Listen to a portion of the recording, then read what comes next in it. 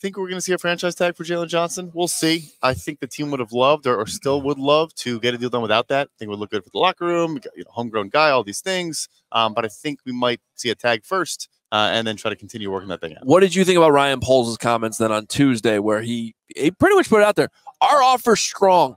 It was a strong offer. Guarantees are good. We're giving him an opportunity to get back on the market. He's still young enough for that opportunity in the future. Uh, it certainly seemed like he was pushing this in their court a little bit. Like, come on, let, let, let's get this thing done. Yeah, I think that is key. And look, he's not even 25 yet. So three or four year deal. He is, I know corners can age quickly sometimes, but you're, you're 28, 29 years old looking for that next deal. You know, L'Jarius Sneed's 27 years old right now. So uh, I think if they were offering a shorter term and, and, stronger upfront cash flow, it probably was a fair offer. and, and I do think – we kind of don't appreciate. Like they probably wanted to win that Green Bay game, similar Detroit Lions vibes as last year. He, Jaylon makes kind of a routine tackle week 17, gets a shoulder injury, misses that big game. It was a bit of a bloodbath. You know, the, the score was mm-hmm. close, but you know, I mean, Dontayvion Wicks was running wild the entire game. I feel like so. Just eh, the, the end of the season too. I'm not going to say let the bad taste in their mouth, but you know, it, eh, these things are on the back of their mind. It's the last impression as you're negotiating maybe a you know 20 million dollar a year contract. Well, Brett, I think a lot of Bears fans too. They would be disappointed with that outcome if that were to happen with Jaylon Johnson. But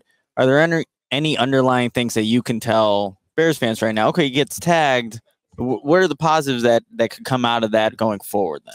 Yeah, I, I, still think they would try very, very hard to get a deal done after that. You know, I think they're just not going to make a deal they're not comfortable with. But look, we, we even saw more posthumously, but like when that's the wrong word for sure, but uh, uh like close enough. Yeah, I would have to look that I up. think Montez Sweat's alive. Uh, uh that's yeah, okay. Yeah, so, but like when that we hope so. We heard after the fact that like he wasn't super pumped about going to Chicago. Yeah. Mm-hmm. He would have rather gone to Atlanta or somewhere else. Um, and, and like yo, so that, that might make a challenge with the contract. You usually want to have a contract agreed to as a part of those trades. It's it's generally you know better better business to not give all the leverage to the player, but they got it done, right? And, mm-hmm. and so I think if a tag does happen, I still think they're going to push very hard to get this done.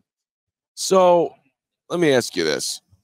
Jaylon, I love you, Jaylon. I love your competitive fire, Jaylon. I love the fact that the Bears put it on you that you needed to get more takeaways and you went out and got more takeaways. And you could have even had more because you dropped a couple.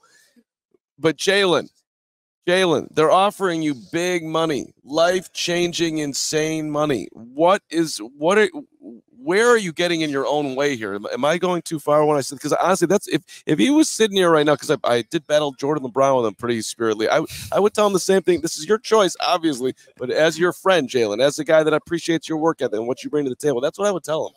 Yeah, I mean, I think the thing there, maybe pushing back on it, is this free agent class, besides him, um, now that we know that L'Jarius Sneed probably getting franchise tagged as well, is extremely weak. The drop off from Jaylon Johnson to the next available free agent corner, I won't even say that, maybe me. Like it's it's a, it's, it's a it's a massive drop off, right? And so he's younger than these guys. He's more productive. He's a better football player. I think that's working against it. The draft has some names, but I feel like it's not the greatest draft class, eh, you know, proceed the corner. So I think that's more looking at the market. And the last piece is this corner market has been stagnant. I mean, Jaire Alexander is still the highest paid corner in the NFL. I want to say he got paid three years ago now. So he probably thinks he has a responsibility. That's a big thing people sometimes don't know. Like they feel they have a responsibility to their cohorts at the position. Like if I don't reset the market, it's the guy behind me is not going to get as good of a deal. Mm. So there's some element of that as well, I'm sure. But I hear what you're saying all silly like the mayor.